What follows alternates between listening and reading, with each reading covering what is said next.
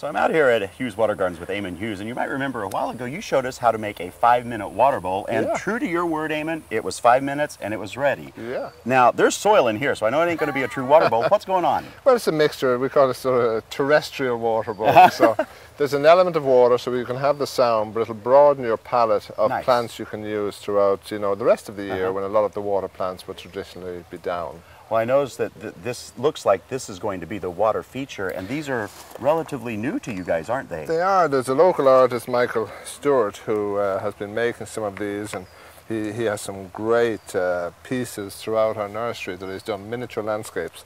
So he also sells us these little mushrooms, which have a hole in them, and we put a little pump in the bottom here. It's a small reservoir, and it's just recirculated through this system here, So the water really is self-contained, self-contained in the water bowl. that.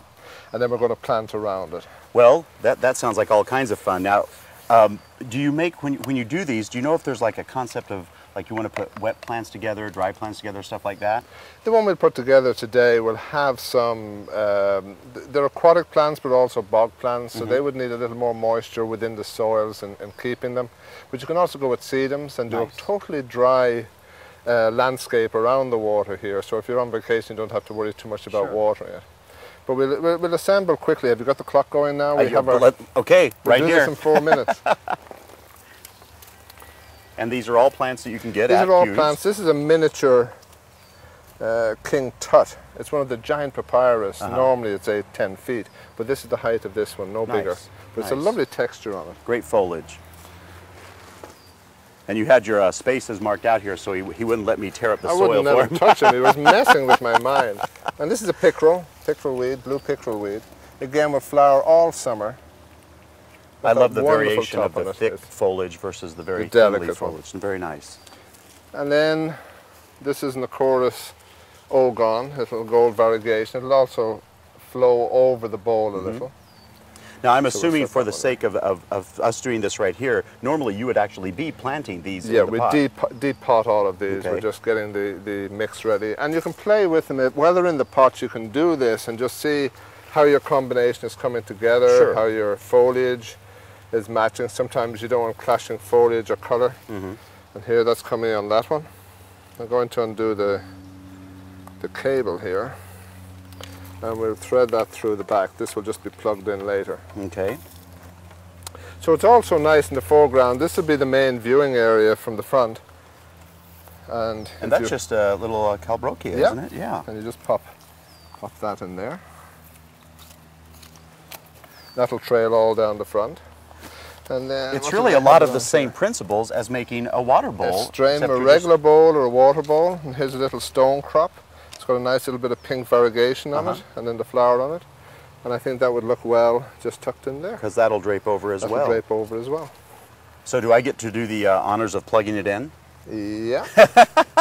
well, I think what we should do is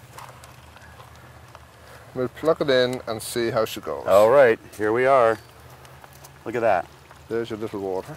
And then you can fill in with, uh, after your soil is filled in, you could put an- other bigger rocks in there. Really, it's pretty Yeah, I brought some over this way. We'll fill it on up and then we'll show the viewers. We'll spend another two minutes on it and just finish this out, get it filled up and get these rocks on and show the finished piece. Okay, let's do that. Hey, thanks, man.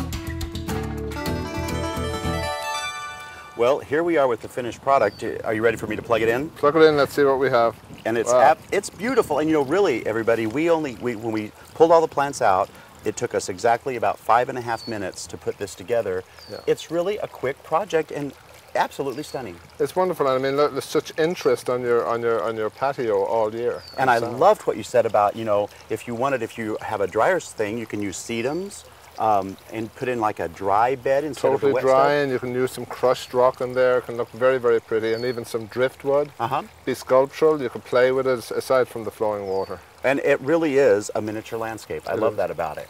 Well, you know, if you have any other questions, I would certainly invite you to go to hughes.com or better yet, come out to their wonderful store, talk to their staff, and I'm sure they'd be more than willing to go through the steps with you and help you set one of these up for your own garden. Thank you so much, Amy. Thank you, William.